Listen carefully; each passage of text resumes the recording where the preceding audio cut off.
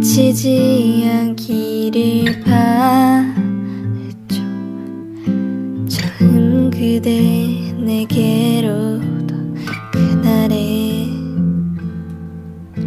잠시 동안 적시는 그런 비가 아니길 간절히 난 바래왔었